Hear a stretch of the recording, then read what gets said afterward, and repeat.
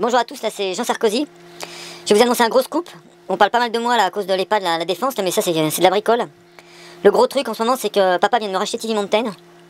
Donc bah je suis super content, quoi. ça faisait vraiment longtemps que j'en rêvais et je voulais vous l'annoncer euh, ce soir. Là. Donc voilà, c'est fait. Donc cet hiver, euh, changement de programme, il y aura beaucoup de films de, de freeride de papa, Carla et moi. Parce que bon, euh, on fait beaucoup de ski l'hiver. Et, et, puis dernier petit truc, la poudre cet hiver, c'est que pour Carla, papa et moi. On prend tout.